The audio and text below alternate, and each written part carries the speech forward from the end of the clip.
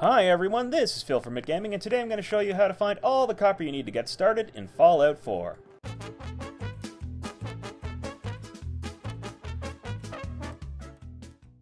So you need copper for most things in your base, but you don't know where to look? Well, look no further than these streetlights. If you scrap the streetlights, what you're going to find in them is you're going to find a fuse, and you're going to find a broken light bulb. Both of these contain copper.